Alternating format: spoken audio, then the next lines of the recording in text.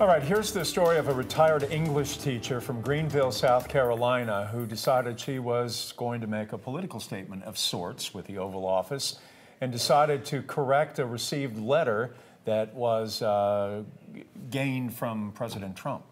She lives right here in Atlanta and talked to Kaitlyn Ross about why she wanted to fix the letter.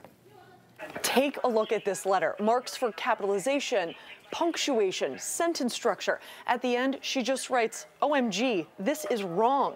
But retired teacher Yvonne Mason says she couldn't help herself.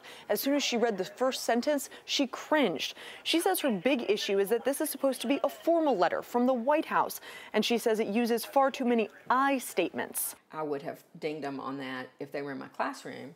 It's like there's got to be a better way to phrase this instead of referring to yourself. Self referential letters aren't as effective. She also points out random capitalization, like here, here, and here. She says she knows this is a form letter, likely written by a staffer, but she thinks the White House should be held to a higher standard.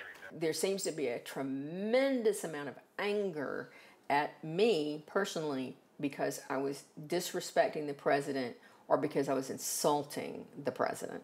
Well, maybe, but it, it's a letter. And it was my letter to do with what I wanted to do. She says the insult that hurt her most was traitor because she feels like anyone who loves their country should be engaging with their government.